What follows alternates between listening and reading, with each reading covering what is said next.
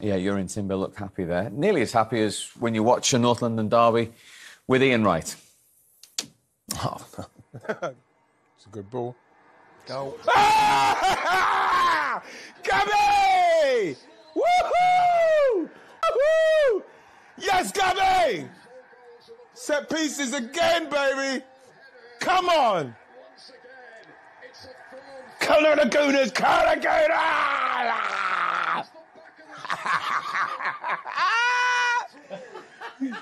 We're back! back.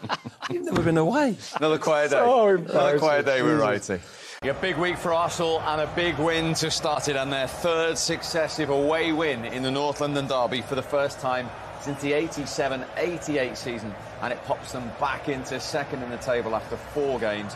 Crucially, two points behind the champions Manchester City, who of course they play one week from now. City the only team left with a 100% record. Spurs left to reflect on and just one win now in eight Premier League meetings against Arsenal, yet again unable to find a breakthrough. We'll come to them in a moment, but there's the hero, the Brazilian Gabriel, with that goal after 64 minutes. How big a goal for a game you said they had to win, they have won. Massive, uh, massive goal. Fantastic performance from him. In fact, the old back four, I thought Jurrien Timber was fantastic. Same with, same with Saliba. Um, I thought that Tottenham almost played into their hands a bit. They weren't playing the ball fast enough. They weren't playing through the lines. They weren't, even when they got the crosses in, they weren't great crosses. They cut out everything. I thought they were very much in control for a team that didn't really have that much control in the midfield, which I thought they would have with um, with Jorginho and Thomas Partey. But in the end, um, I think we deserved that. Arsenal deserved to win that. Statement win without two key players for Arsenal? Yeah, right? absolutely. That was the big question. Two big hitters who have performed so well for them missing. How would they cope?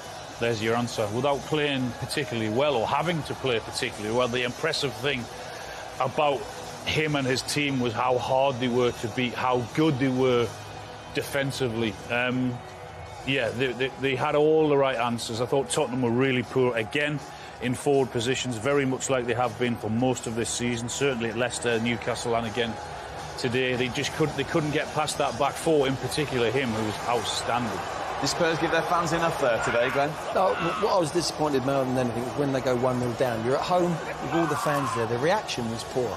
It really was. They just kept plodding away. There was a bit of desperation in their play in the end, and there wasn't, like Alan just said, there wasn't enough creation in that last third. Any cross that went in just found an Arsenal man. There was no movement. There was no patterns of play. Um, they've got to they've got to make more movement off the ball when teams bank in against them to try and get him and seek him behind behind that defence, like City do on the edge of the 18-yard box. Spurs found that very very difficult today. They created some chances, of course. They came out second half on the front foot, but you know what? Sometimes you know we look in the modern day game how a team have won a game with the way they've played, with the flair, going forward, fullbacks. Their fullbacks, Arsenal's fullbacks today didn't go over the halfway line. They didn't have to. They were solid, and I think they wanted to go there and play this that way. If we score at the other end, what we're going to be is solid here today. Our back four is not going to get dismantled. It's going to stay intact. And you know what? They won it. Yes, Gabriel got the goal, but they've won it because of the way they've defended. I think with um, when you look at, at this Arsenal side and what they've been through the last couple of years, that was the kind of performance that was a very experienced performance in respects of yes, missing two really integral players, but again, you know, like I said at the start, the defence is playing so well. You probably can get away with a, a, um, a Jorginho and a Thomas Partey. You need a little bit more up front, but I thought they dug in well because they, it's a new mentality what they've got. This Mikel Arteta side is not going to go there and not put that kind of performance in. Yep, six away wins in a row. Let's see the North London derby smile from you. there we go. Ian Wright, a very happy man. Arsenal into second. Stay with us. All the reaction. Congratulations to you both. Gabriel, looked like special celebrations with the fans at the end there.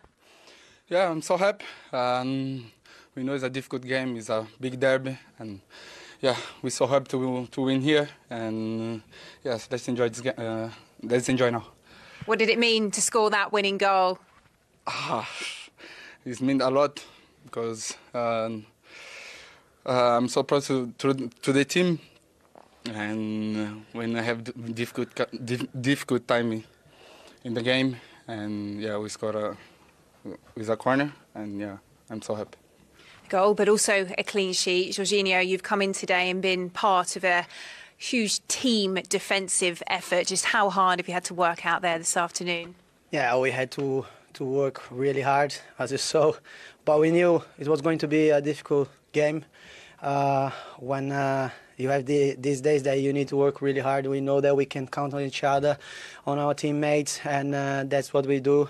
Uh, one more that we stick together, and uh, at the end, the pay work off, uh, and we so happy that we won, and I'm so happy for this guy that he scored a winning goal.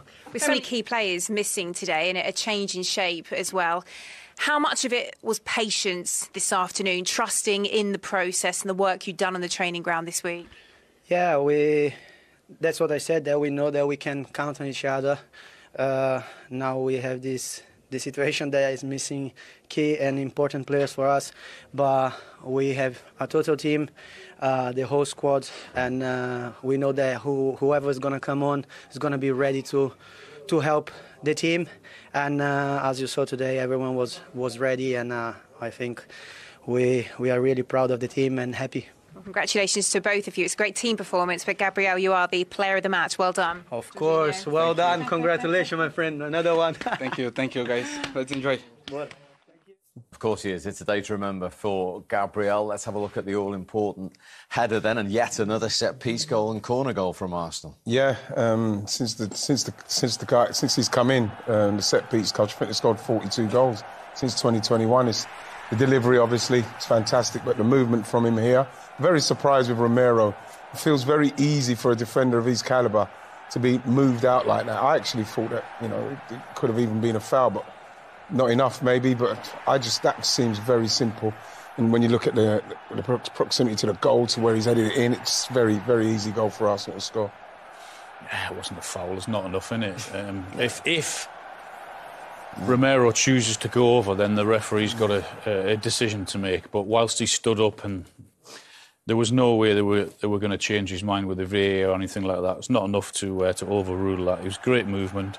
There was one player who really, really wanted to get on the end of that, and there was one player that was happy to be shoved off it. Mm. And from Tottenham's point of view, to be undone in this kind of area, not a blistering goal, not an end-to-end counter-attack goal, will be a huge frustration, Glenn. Well, yeah, I mean, they, they must know that Arsenal are good from set plays, they've, and they've decided there. Last year it was zonal from corners. This year it's slightly changed. They've gone man for man on danger men like Gabriel, and whoever's been designated to mark him, do your job. Mm. Do your job, not what Romero's done. And then there's other players now doing a, a little bit of a zonal. Last year it was solid, four of them across there, and they got caught out. For me, the goalkeeper's got an Achilles heel here because other clubs have seen it. Any ball in that in swinging area into that six yard box, I'm not sure he can come. There's too many bodies there, but his intent is to go back. He's never looking to come out. Look, he's, he's, he's involved in the sort of battle up. He's got to detach himself away from that and think to himself, where is my intent? My intent is his body's always going backwards. He's got to come and punch some of them balls. Not necessarily that one, that's a bit different, but this is big. They've played that corner because it, time and time again he's conceded or he's looked, he flapped at one in the first half. If I remember, a corner came over and he said he didn't touch it. It wasn't convincing. And that's an Achilles heel he's got particularly. He's a good st- shot stopper, but he has got to come and make himself more physical, come and get more balls, come and punch. He ain't got to catch it. There's lots of bodies. Clear the area. And until he does, they're going to concede even more goals. Brilliant header. I mean, there, there are so many different things. You know, the, the, the ball has to come in first of all, then his movement, and then the timing of his of his jump to get away from the defender, and then the connection. It, it, it's a magnificent header. It really is. The the desire to get on the end of it and shove everything, get out the way. I'm coming and I'm going to get on the end of it. No one's going to stop me. It's a superb header. But that's, that's the problem. You can't be unopposed. That's right. Well, if your goalie's not coming, you mm. cannot be unopposed. Three of Arsenal's last four goals against Tottenham have come from corners. Yeah, exactly. Well, that's then you've got to do your homework, and you've got to make sure that you're focused in on that scenario because you know you're going to concede some corners, and uh, that wasn't. That's the case. Romero, I don't know where he was. He was. He, he, just switched off completely. You cannot allow a free header from what inside the six yard box from a corner. No way. I don't care what era of football you're in. You cannot allow that. Mm. And 15 Premier League goals for Gabriel. 10 of those have been headers. Yeah. Well, again, like, you know, you look at what he, he's capable of in both boxes um, in, in, with his defending and once he gets in the box. And then, Steve, it comes down to the, the, the delivery. Saka's delivery was absolutely on point there. And, you know, that's why Arsenal scored so many goals because they, they work so much on them. They work a lot on those set pieces and they know in games like this, it might be the difference, and it was today. When, when, when you go one behind against this Arsenal team, you've got to do something special to get back because mm. it's very, very tough. They've got the best back four in the Premier League. There's no doubt about that. The way they operate, the way they work, the way they're protected.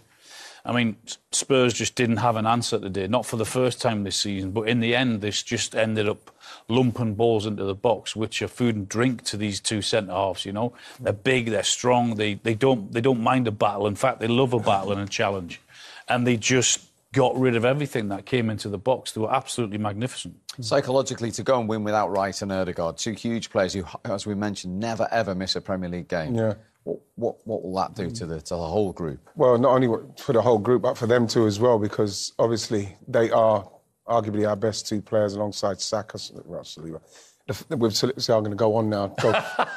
but like, obviously, them looking in, you you you need the team to be winning without your best because, like I said at the mm. start, you you're looking to challenge Man City, and you have to challenge Man City sometimes without your best. And I'm not saying we played unbelievably there, but we got it done simply because the defence is so good and the set pieces are so good. So we've won that game and two aspects of our game that's improved over the last few years and that is what's won us that game today. OK, let's get some Tottenham reaction. Here is their captain, Heung-min Son. I'm sure you're hurting. A third consecutive defeat here to your rivals.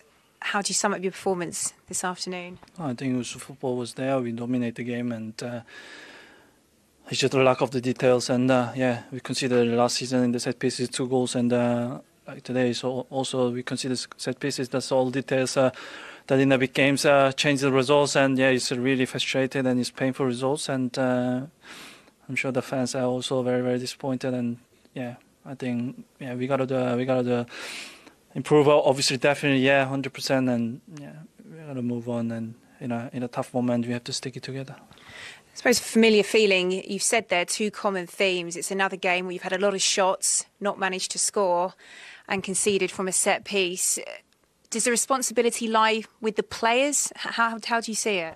Well, yeah, definitely. I think because it's a, until until we we get we are getting in the final set and we are getting uh, getting it right right shots and right decision. But I think yeah, I think player has to take responsibility because it's uh, to get it there is uh, I think most uh, most hard, hardest hardest part. So and we gotta be really sure in the training and in the game that we have to make sure that we gotta make uh, we are making a right decision and be more be more clinical.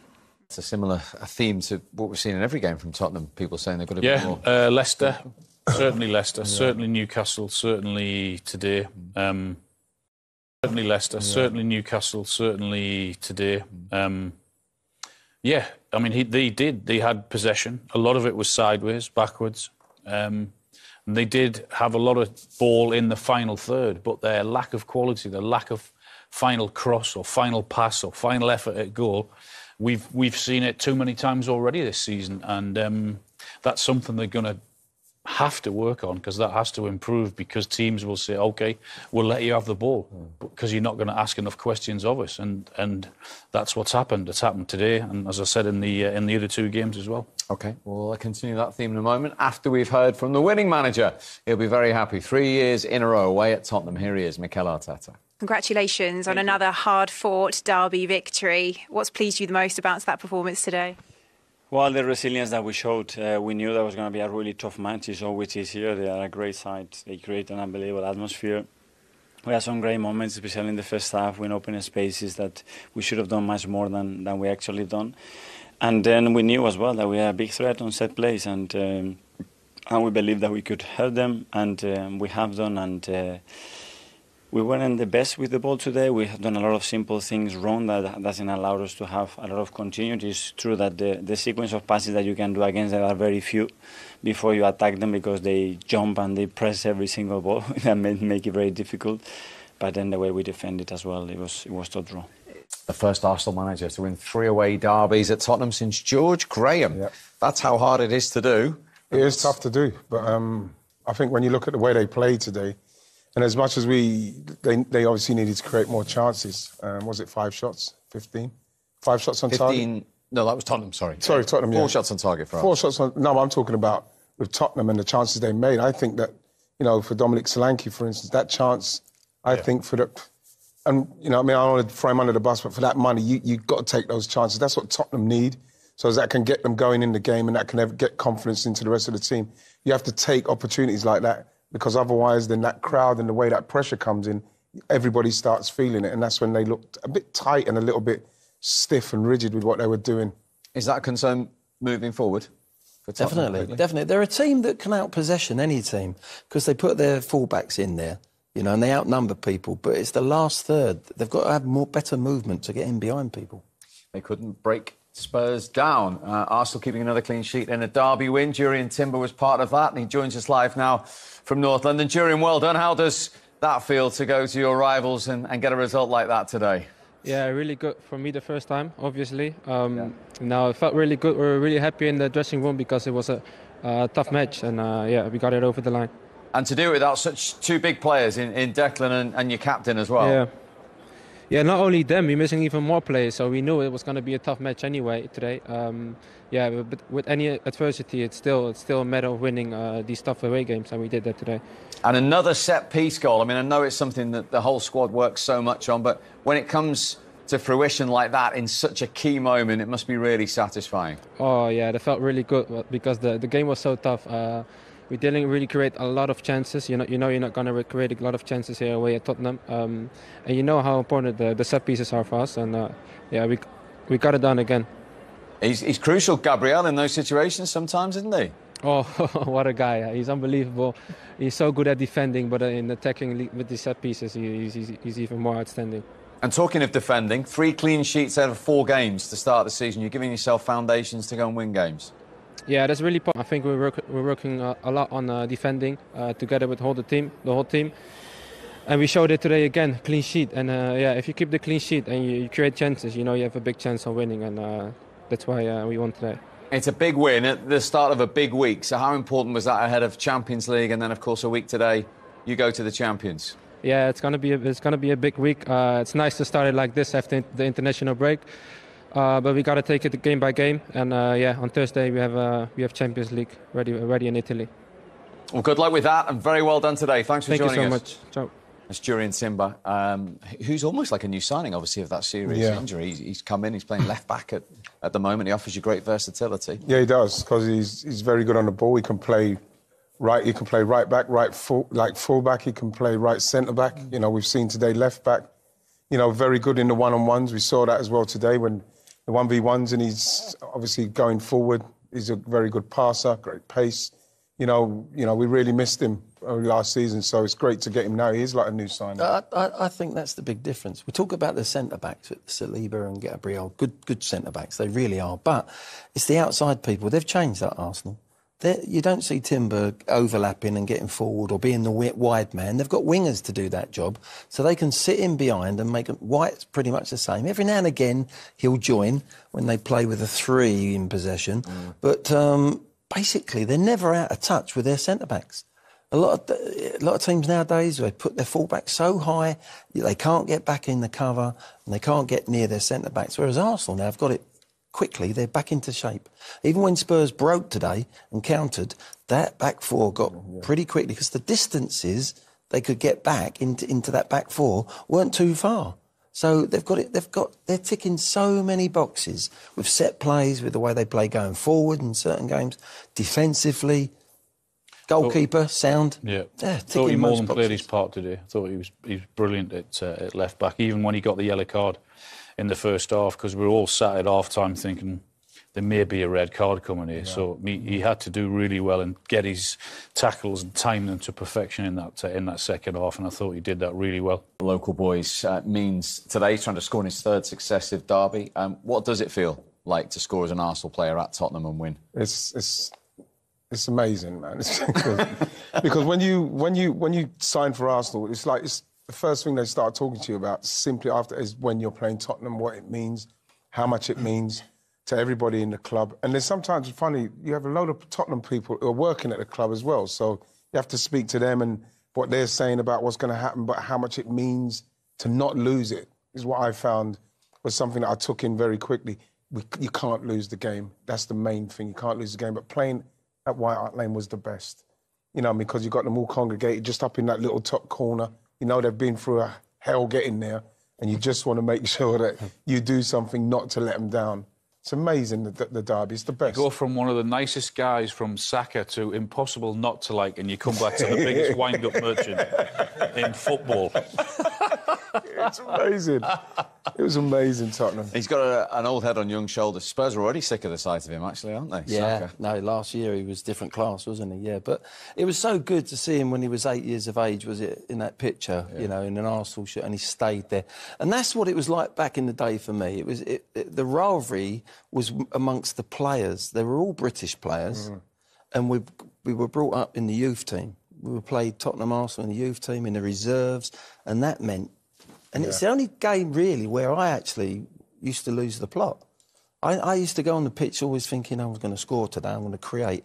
I'd go, my old mate Graham Rix was on the other side and he played left side, I was right. We used to kick lumps out of each other. It was one of them games where I didn't care what how the game went. It was about winning and just getting over the line, and it was so physical back then. I think with the foreign, they know that it means a lot to the uh, to the fans. Still the same, Yeah. and it does. But there's not. It was lovely to see Saka because of the feelings he's been brought up with it, and now he's gone and scored a couple of. You know, he's, this could be his third game he scores in this London derby. But you know, to the foreigners, they they understand. They understand it means a lot to the to the fans. But it's not like it was back in the day when that real rivalry was on the pitch, where everyone was Brit and they were brought up through the club. the youth team. My word, there was some. Uh, there were some poor games as well. Actually, when I look back, it was it meant too much, you know, and you, you were put off our game. Getting back to Saka, um, just how important has he come to this Arsenal team now? For instance, they've scored all the goals this season. He's been involved somewhere along the line in all of them. Oh, he's a he's a he's a magnificent talent, isn't he? I mean, his attitude, just ev- everything about him, he just gives off this fresh feeling about football. You know, is that he you can tell he he he just loves being out on the pitch. He loves the game. Everything about him, even as a he's when when he's going in against Newcastle or whatever team, you just still have to admire him and like him and understand him.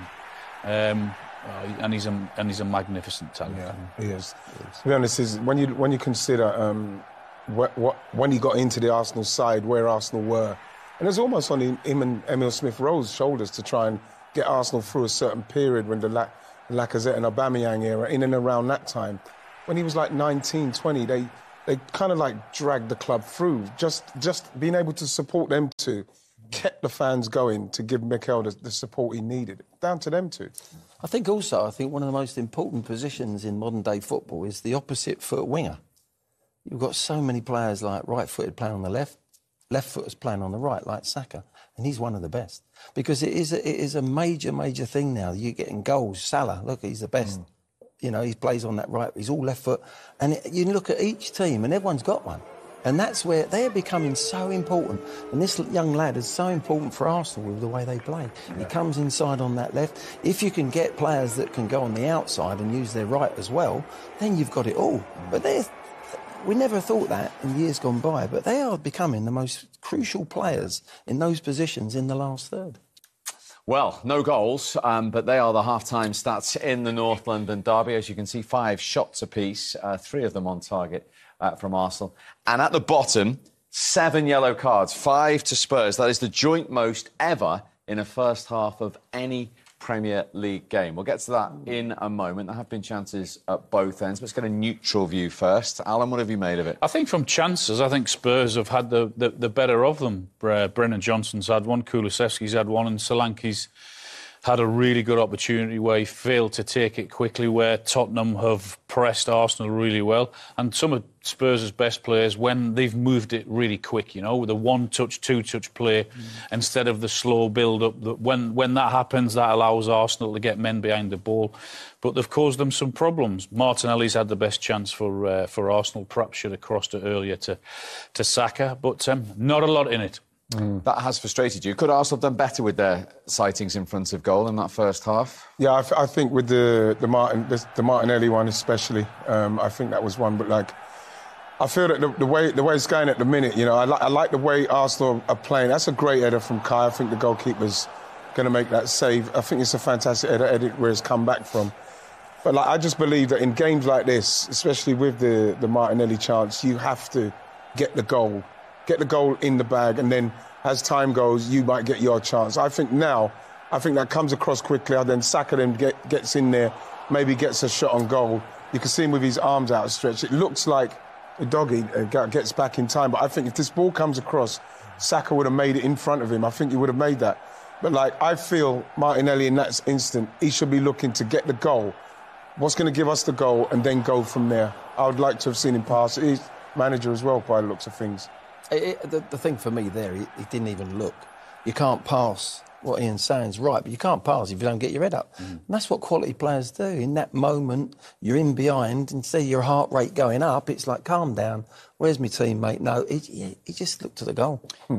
Tottenham's club record signing, North London derby debut for Dominic mm. Solanke. Could he have done better? Yeah, in that first half. It's all about his first touch. Yeah, he has been out for a little while, but th- these are the things that get a bit rusty. But as soon as that ball comes in there, it's his first touch. It's under his foot.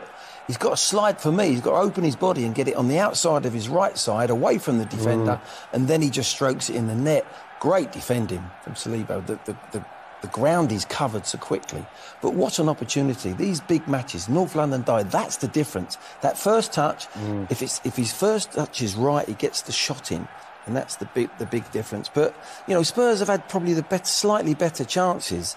But I've got to say, I think, I think Arsenal have grown and grown in the game. This is a really good effort because I didn't think he was going to get any purchase on his header. He actually beats Raya. If that's in the, if that's uh, inside the uh, post, yeah. that's in the net. It's a yeah. really good effort, Al, isn't it? Yeah, it's a really good effort. But the first one, you've got 10 yards where there's no defender can get to you. You don't need three touches, which is what he's tried to do.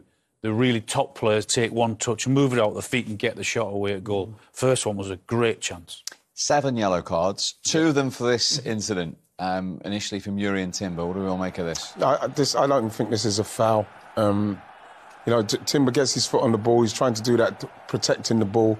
I think Porro's reacted very, very poorly. There's, you know, there's nothing wrong with him. There's not, there's not nowhere near enough contact for him to be rolling around like he is. And then obviously the goalkeeper from his angle probably thinks that he's caught him. But if you look at it, he's standing on the ball. He's not actually kicked him or he's tried to kick him. I think Porro makes a meal of it, and then the goalkeeper. Look, if you look at it from there, Porro's foot comes in and meets it, and I think that what should have happened, like Al said at the start, the referee needed to make people know with the first couple of challenges, no emotions are running high. I want the game to flow. Everybody just yeah. stay calm. But he just started booking people, so that's what he set his precedent. He, he, the, the, referee now has handcuffed himself. Yeah. He's put himself in a really awkward position for me, that one, a, a booking or non-booking, even if he had said not a booking, he was just as a professional. We know what he was trying to do. He was trying to protect himself. He hasn't gone over the top of the ball. He's just put his foot on the ball and, so, and thought, well, if someone's going to get, you know, come and do me, it's going to hit the bottom of my studs. We know we've all done it ourselves. Now, if he had got booked, he's been booked. I'm okay. I'm 50-50 on that call. If he hadn't have been booked, you think, okay, there's others there. Bentancur comes to mind. There's a few there that I'm saying, no way a yellow yellow card.